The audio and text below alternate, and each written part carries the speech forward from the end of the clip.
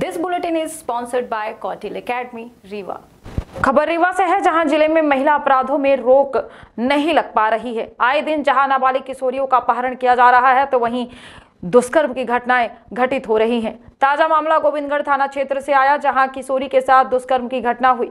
पीड़िता ने सारी जानकारी परिजनों को दी, जिसके बाद उसकी शिकायत दर्ज की गई, जिसमें आरोपी के खिलाफ दुष्कर्म और पॉक्सो एक्ट की धाराओं के तहत मामले को पंजीबद्ध कर तलाश शुरू की गई थी।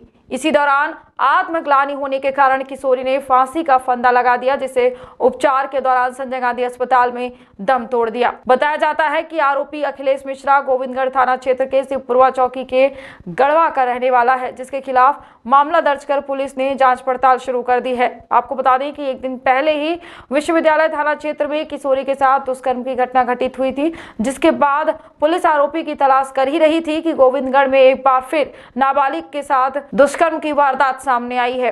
वहीं ज़िले में हो रही घटनाओं को लेकर एक बार फिर प्रशासन को दोषियों के घरों में बुलडोजर चलाने की आवश्यकता है। आइए सुनाते हैं मृतका के परिजनों और अस्पताल प्रबंधन का इस मामले में क्या कहना है। हम घर पे नहीं थे, बाहर थे खेत में और बच्ची बाहर गई थी। तो वहाँ अमित मिश्रा ने और अखिलेश मिश्रा ने उसके साथ बलात्कार किए। इसकी शिकायत कहाँ की? इसकी शिकायत अ, गोविंदगढ़ थाने में करवाई थी जी। आपको जानकारी कैसे मिली? मैं वहाँ एक जो गेहूँ का बोझा मैं इकट्ठा कर रहा था तो वहाँ से आवाज़ चिल्लाहट के आई तो मैं सोचा कि किसकी आवाज़ मैं समझ गया कि बच्ची तो मेरी बाहर गई थी। तो मैं जब यहाँ से आवाज़ लगाया कि कौन है तो अपना भाग दिया।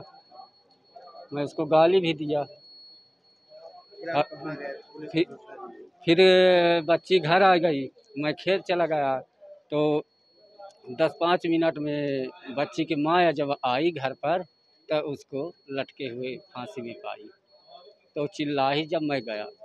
कल के दिन करीब 10-11 बजे के आसपास हमारे पास एक गोविंदगढ़ थाना क्षेत्र के ग्राम से एक अवयस्क बालिका को लेकर आया गया था और वो अचेतावस्था में थी और बताया गया कि उसने फांसी लगा ली है।